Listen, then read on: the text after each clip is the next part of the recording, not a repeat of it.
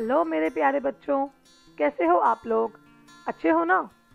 आज तक आप लोग बहुत सारे लाइफ स्किल्स मतलब जीवन कौशल सीख चुके हैं। तो आज हम एक और बहुत ही इंपॉर्टेंट लाइफ स्किल के बारे में चर्चा करेंगे, जिसका नाम है रोड सेफ्टी रूल्स मतलब सड़क सुरक्षा नियम। अब आप लोग घर से बाहर निकलते हैं खेलने के लिए। हम लोग सड़क पर चलते भी हैं, गाड़ियों में ट्रेवल भी करते हैं, ठीक है? और हम लोग आए दिन बहुत सारे ट्रैफ़िक साइंस ट्रैफ़िक लाइट्स ये सब भी देखते हैं। लेकिन हमको उन सब के रूल्स के बारे में जानकारी होना बहुत आवश्यक है, ताकि हम उन रूल्स को फॉलो कर सकें, उन नियमों का पालन कर सकें। तो चलिए, आज हम इन्हीं रूल्स के बारे में सीखते हैं। सबसे पहला है हमारा ट्रैफ़िक लाइट ट्रैफ़िक लाइट आप लोगों ने हर सिग्नल पर देखी ही होगी। Red light yellow light green light आप लोग यह भी देखते हैं कि रेड लाइट होते ही कार्स रुक जाती हैं ग्रीन लाइट होते ही गाड़ियाँ चल पड़ती हैं। तो रेड लाइट मीन्स स्टॉप लाल मतलब रुक जाइए। येलो मीन्स स्लो डाउन पीली मतलब रुकने के लिए तैयार। ग्रीन मीन्स गो हरी मतलब चलिए। अब हम कुछ सीखेंगे safety rules on the road कुछ रूल्स आप लोगों को पता ही होंगे, जैसे ऑलवेज वॉक ऑन फुटपाथ आपको फुटपाथ पर ही चलना चाहिए, कभी भी सड़क के बीच में नहीं चलना चाहिए। Never run while crossing the road सड़क पार करते समय कभी भी दौड़ना नहीं चाहिए। And cross the road only at zebra crossing zebra crossing पर ही सड़क पार करनी चाहिए। तो सबसे पहले हम देखते हैं जेब्रा क्रॉसिंग से संबंधित नियम। अच्छा बच्चों इस क्रॉसिंग का नाम जेब्रा क्रॉसिंग क्यों है? ये लाइंस देखकर आपको कोई याद आ रहा है कोई जानवर? जी ma'am zebra very good zebra में भी ऐसी ही स्ट्राइप्स होती है ना वाइट ब्लैक वाइट ब्लैक और सड़क पर भी ऐसी स्ट्राइप्स बनाई हैं white black white black alternative colours तो इसलिए इसे जेब्रा क्रॉसिंग का नाम दिया गया है। तो सबसे इम्पोर्टेंट बात कि आप लोगों को हमेशा सड़क जेब्रा क्रॉसिंग पर ही पार करनी चाहिए। Cross the road at only zebra crossing second important बात hold hands while crossing the road सड़क पार करते समय हाथ पकड़ना चाहिए।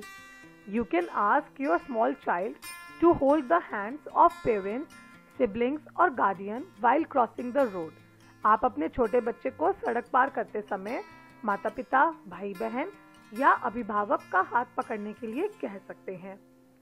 तीसरी और सबसे इंपॉर्टेंट बात we should not play on the road हमें सड़क पर खेलना नहीं चाहिए। Also we should not run on the road इसके अलावा हमें सड़क पर भागना भी नहीं चाहिए। अच्छा अब हम सड़क लेकिन पार कैसे करें? ठीक है तो इसका सबसे आसान तरीका। Look right left then again right before crossing road मतलब पहले आप राइट में देखिए देन लेफ़्ट में देखिए देन अगेन राइट में देखिए। और सिर्फ़ देख के छोड़ना ही नहीं है। आप ये देखिए कि कोई व्हीकल आ तो नहीं रहा। अगर कोई व्हीकल आ रहा है तो आप वहीं रुक जाइए और उस व्हीकल को पास होने के लिए टाइम दीजिए। And then you should cross the road अब, एक और बहुत इंपॉर्टेंट बात। ऑलवेज वियर हेलमेट हमेशा हेलमेट पहने। लेकिन ये मत सोचिए कि हेलमेट सिर्फ़ स्कूटर्स और बाइक्स के लिए ही होता है। अगर आप बाइसाइकिल चला रहे हैं तो भी आपको हेलमेट पहनना चाहिए। Wearing a helmet is the most effective way of reducing head injuries resulted from motorcycle and bicycle crashes. Helmet पहनना मोटरसाइकिल और साइकिल दुर्घटनाओं से होने वाली सर की चोटों को कम करने का सबसे प्रभावी तरीका है। अब हम पढ़ेंगे कुछ ट्रैफ़िक साइंस के बारे में। ऐसे बोर्ड्स आपने सड़क पर चलते हुए रोड साइड्स पर बहुत सारे बोर्ड्स देखे होंगे। तो आज हम कुछ इंपॉर्टेंट ट्रैफ़िक सिंबल्स के बारे में ट्रैफ़िक साइंस के बारे में जानकारी इकट्ठा करेंगे। सबसे पहला साइन है नो हॉर्न हॉर्न ना बजाएँ। तो देखिए, आप देख रहे हैं चित्र में लेफ़्ट में एक हॉर्न बना हुआ है और उसके ऊपर ऐसे एक रेड लाइन लगी हुई है। तो that is the symbol of no horn second is एक सर्कल में नीचे स्पीड लिमिट नंबर्स लिखा हुआ है और ऊपर गाड़ी बनी हुई है। तो that is the sign of speed limit गति सीमा। तो जो भी व्हीकल का वो सिंबल बना होता है, यानी कि उस व्हीकल के लिए वो वाली स्पीड लिमिट है। जैसे इस पिक्चर में कार के लिए स्पीड लिमिट है 70 एंड जो बड़े व्हीकल्स हैं लाइक ट्रक उसके लिए स्पीड लिमिट है 40 next traffic sign is no parking parking नहीं। जगह जगह लोग, लोगों, लोग इधर उधर गाड़ियाँ अपनी पार्क कर देते हैं तो उस चीज़ के लिए नो पार्किंग का साइन लगाया जाता है। और हमारे लिए सबसे इंपॉर्टेंट स्कूल अहेड स्कूल आगे। आप अपने स्कूल के बाहर भी देखेंगे तो वहाँ भी एक ऐसा साइन ट्रैफ़िक साइन का बोर्ड लगा होगा।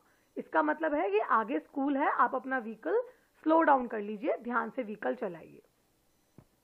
चलिए, अब हम एक बहुत इंपॉर्टेंट चीज़ के बारे में देखेंगे that is driving licence driving licence is an important document in India because it give citizen the permission to drive driving licence Bharat में एक महत्वपूर्ण दस्तावेज़ है, क्योंकि यह नागरिकों को वाहन चलाने की अनुमति देता है।